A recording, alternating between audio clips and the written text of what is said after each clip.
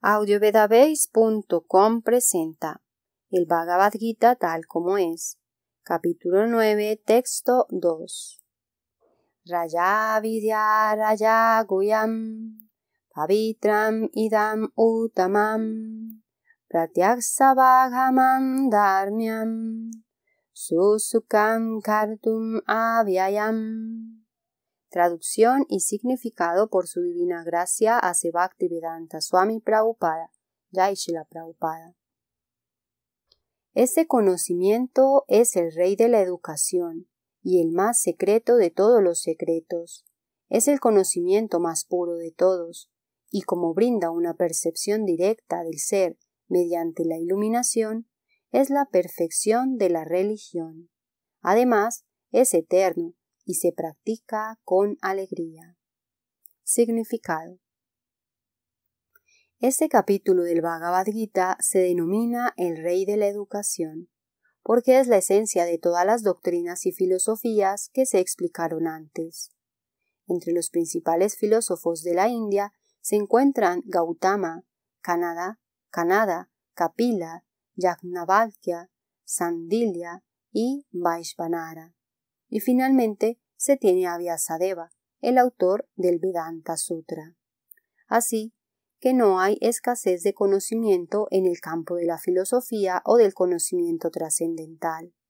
Ahora bien, el Señor dice que este noveno capítulo es el rey de todo ese conocimiento, la esencia de todo el conocimiento que se puede adquirir del estudio de los Vedas y de las diferentes clases de filosofías es el conocimiento más confidencial de todos, porque el conocimiento confidencial o trascendental entraña el entender la diferencia que hay entre el alma y el cuerpo. Y el rey de todo el conocimiento y el rey de todo conocimiento confidencial culmina en el servicio devocional. Por lo común, a la gente no se le educa en lo que se refiere a ese conocimiento confidencial, sino que se la educa en el conocimiento externo. En lo que respecta a la educación ordinaria, la gente está ocupada en muchísimos departamentos política, sociología, física, química, matemáticas, astronomía, ingeniería, etc. Hay muchos departamentos del conocimiento por todas partes del mundo y muchas universidades inmensas, pero, desafortunadamente, no hay ninguna universidad ni institución educativa en la que se imparta la ciencia del alma espiritual. Sin embargo, el alma es la parte más importante de este cuerpo. Sin la presencia del alma, el cuerpo carece de valor. Aun así, la gente le está dando mucho énfasis a las necesidades corporales de la vida, sin preocuparse por el alma, que es vital. El Bhagavad Gita especialmente desde el segundo capítulo en adelante, recalca la importancia del alma. En el mismo comienzo, el Señor dice que este cuerpo es perecedero y que el alma no lo es. Anta y me deja nitya sari saririnaha. Esa es una parte confidencial del conocimiento. El simple hecho de saber que el alma espiritual es diferente de este cuerpo y que su naturaleza es inmutable, indestructible y eterna. No obstante, eso no da ninguna información positiva acerca del alma. A veces la gente tiene la impresión de que el alma es diferente del cuerpo, y que cuando el cuerpo se termina o cuando uno se libera del cuerpo, el alma permanece en un vacío y se vuelve impersonal. Pero, en realidad, eso no es cierto. ¿Cómo es posible que el alma, que es tan activa dentro de este cuerpo, se vuelva inactiva después de liberarse de él? El alma siempre es activa. Si es eterna, entonces es eternamente activa, y sus actividades en el reino espiritual son la parte más confidencial del conocimiento espiritual. Aquí se indica, por lo tanto, que esas actividades del alma espiritual son el rey de todo el conocimiento, la parte más confidencial de todo el conocimiento. Este conocimiento es la forma más pura de todas las actividades, tal como se explica en la literatura védica. En el Padma Purana se han analizado las actividades pecaminosas del hombre y se ha señalado que son los resultados de un pecado tras otro. Aquellos que están dedicados a las actividades fruitivas están enredados en diferentes etapas y formas de reacciones pecaminosas. Por ejemplo, cuando se, cuando se planta la semilla de un determinado árbol, éste no aparece de inmediato, sino que toma algún tiempo en hacerlo. Primero es un pequeño retoño, luego adopta la forma de un árbol, luego florece y da su fruto, y cuando se completa su desarrollo, las personas que plantaron la semilla del árbol disfrutan de las flores y las frutas. De la misma manera, un hombre ejecuta un acto pecaminoso, y como una semilla, éste se toma su tiempo en fructificar. Hay diferentes etapas de ello. Puede que la acción pecaminosa ya haya cesado en el individuo, pero los resultados del fruto de esa acción pecaminosa aún están por disfrutarse. Hay pecados que aún están en forma de semilla, y hay otros que ya han fructificado y que nos está dando su fruto, el cual estamos disfrutando en la forma de, de dolor y congoja. Como se explicó en el vigésimo octavo verso del séptimo capítulo, la persona que ha terminado por completo con las reacciones de todas las actividades pecaminosas y que está plenamente dedicada a las actividades piadosas, estando libre de la dualidad de este mundo material, se ocupa en el servicio devocional que se le presta a la suprema personalidad de Dios, Krishna. En otras palabras, aquellos que verdaderamente están dedicados al servicio devocional del Señor Supremo ya están libres de todas las reacciones. Esa declaración se confirma en el Padma Purana. Aprarabda palam papam, kutam bijam palot mukam, kramen naiba plaliyeta, prariyeta, vishnu bhakti ratat manam. En aquellos que están dedicados al servicio devocional que se le presta a la suprema personalidad de Dios, todas las reacciones pecaminosas bien sea que hayan fructificado, que estén almacenadas o que se encuentren en forma de semilla, gradualmente se desvanece. Se desvanecen. Por lo tanto, la potencia purificadora del servicio devocional es muy fuerte y se denomina Pavitram Uttamam, lo más puro de todo. Utama significa trascendental. Tamas significa este mundo material o la oscuridad, y Utama significa aquello que es trascendental a las actividades materiales.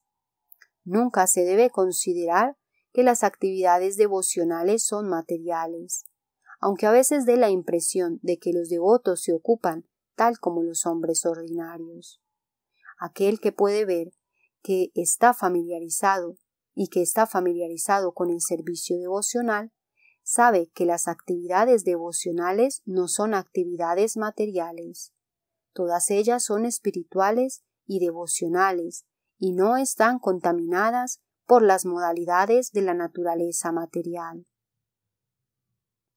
Se dice que la ejecución del servicio devocional es tan perfecta que uno puede percibir sus resultados directamente.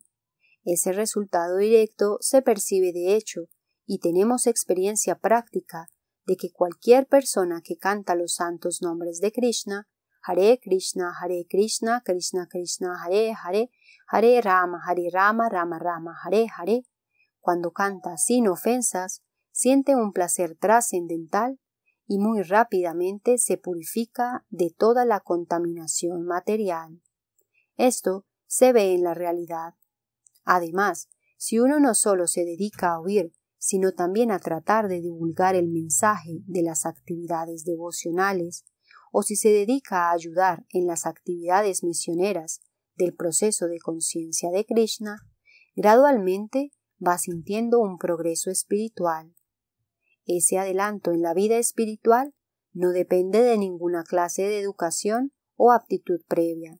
El método en sí es tan puro que por el simple hecho de dedicarse a él uno se vuelve puro. En el Vedanta Sutra 3.2.26 también se describe eso con las siguientes palabras. prakasas sha karmani avyasat. El servicio devocional es tan potente que con tan solo dedicarse a las actividades del servicio devocional, uno se ilumina sin duda alguna. Un ejemplo práctico de esto se tiene en la vida anterior de Narada, quien en esa vida resultó ser el hijo de una sirvienta. Él no nació en una familia de clase alta, ni recibió ninguna educación. Pero cuando su madre se ocupaba en servir a los grandes devotos, Narada también se ocupaba, y en ocasiones, en ausencia de su madre, él mismo servía a los grandes devotos. Narada dice personalmente Ukshista lepam anumodito duiyahi sakrit esmabunye tad apasta kilvishaha evam pravrittasya visuda setasas tat dharma evatma rushihi prayayate. En este verso del Srimad Bhagavatam 1.5.25, Narada le describe su vida anterior a su discípulo Vyasadeva. Él cuenta que mientras hizo de niño sirviente de esos devotos purificados, durante los cuatro meses de su estadía, él se estuvo asociando íntimamente con ellos. A veces, esos sabios dejaban en sus platos remanentes de su comida, y el muchacho, que era quien les lavaba los platos, quería probar esos remanentes. Así que él les pedía permiso a los grandes devotos, y cuando ellos se lo daban, Narada se comía los remanentes, en virtud de lo cual se liberó de todas las reacciones pecaminosas. A medida que él iba comiendo, el corazón se le iba volviendo tan puro como el de los sabios. Mediante el proceso de oír y cantar, los grandes devotos disfrutaban del sabor de prestarle al Señor un servicio devocional continuo, y en Narada se fue desarrollando gradualmente el mismo gusto. Narada dice además Tatranum aham Krishna kataha pragayatam anugrahe nasrin navam mano arahat tat saradayame nupadam visrit nuataha priyasravasi anga mama baba, mama babat rushihi. Por el hecho de relacionarse con los sabios Narada adquirió un gusto por el proceso de oír y cantar las glorias del Señor, y en él se desarrolló un gran deseo de realizar servicio devocional. De modo que, como se describe en el Vedanta Sutra, Prakasas Shakarmani Avyasat, si uno simplemente se dedica a los actos del servicio devocional, todo se le revelará automáticamente y podrá entender. Eso se denomina pratyaksha, lo que se percibe directamente. La palabra dharmyam significa el sendero de la religión. Narada era de hecho el hijo de una sirvienta. Él no tuvo la oportunidad de ir al colegio. Él simplemente asistía a su madre y afortunadamente ella les prestaba algún servicio a los devotos. El niño Narada también tuvo la oportunidad y simplemente por medio de la compañía alcanzó la máxima meta de toda religión. La máxima meta de toda religión la constituye el servicio devocional, tal como se declara en el Srimad Bhagavatam. Sabai Pumsham Parodharmo Yato Bhaktir Adoksaye. Por lo general, la gente religiosa no sabe que la máxima perfección de la religión la constituye la consecución del servicio devocional como ya lo hemos discutido en relación con el último verso del capítulo 8, Bedesu Yakneshu Tapasu Shaiba. Para la autorrealización se requiere generalmente del conocimiento védico. Pero aquí vemos que, aunque Narada nunca fue a la escuela del maestro espiritual y no fue educado en lo que respecta a los principios védicos, no obstante, obtuvo los máximos resultados que se pueden obtener del estudio védico. Este proceso es tan potente que incluso sin ejecutar el proceso religioso de un modo regular, uno puede ser ascendido hasta la máxima perfección. ¿Cómo es posible? Eso también se confirma en la literatura védica. Asharya Vam Purushuveda. Aquel que se relaciona con grandes acharias, incluso si no es educado o si nunca ha estudiado los Vedas, puede llegar a familiarizarse con todo el conocimiento necesario para lograr la iluminación. El proceso del servicio devocional es un proceso muy dichoso. Susukam. ¿Por qué? El servicio devocional consiste en Sravanam Kirtanam Vishnu, por lo cual uno simplemente tiene que oír el canto de las glorias del Señor o asistir a conferencias filosóficas acerca del conocimiento trascendental dictadas por acharyas autorizados. Con solo sentarse uno puede aprender. Luego uno puede comer los remanentes de la comida que se le ofrece a Dios, platos buenos y sabrosos. El servicio devocional es dichoso en cada etapa. Uno puede ejecutar servicio devocional incluso en medio de la mayor pobreza. El Señor dice, Patram pushpan palam toyam. Él está dispuesto a aceptar cualquier clase de ofrenda que le haga el devoto, sea lo que fuere, incluso una hoja, una flor, un pedazo de fruta o un poco de agua, todo lo cual se consigue en cualquier parte del mundo. Puede ofrecerlo cualquier persona, sea cual fuere su posición social, y ello será aceptado si se ofrece con amor. Hay muchos ejemplos de ello en la historia.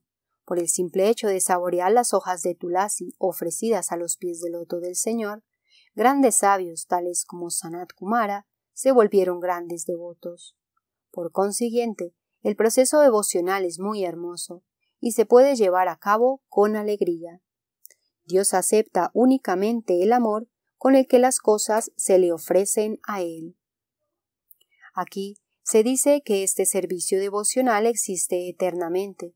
No es como lo describen los filósofos mayavadis.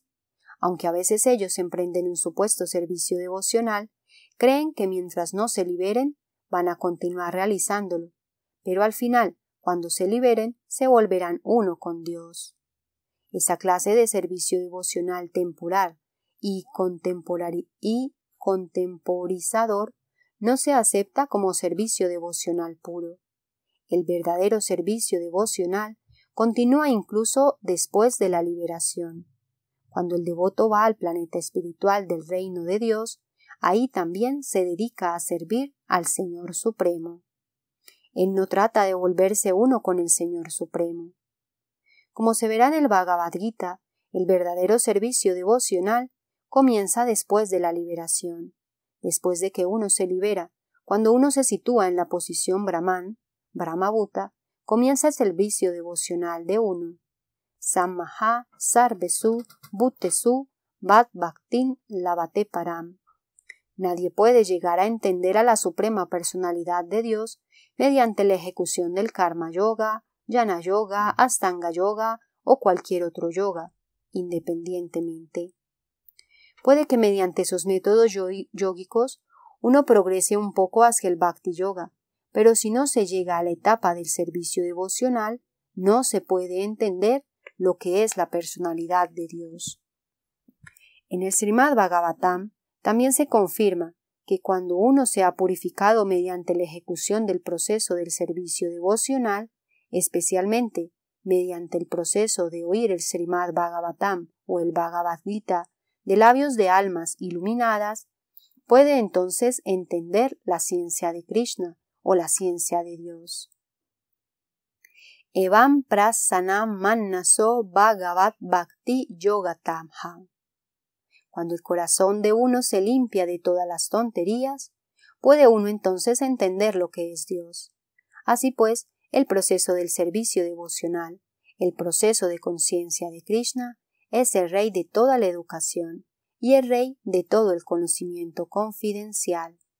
Ese proceso es la forma más pura de la religión y se puede ejecutar con alegría sin ninguna dificultad. Por lo tanto, uno debe adoptarlo.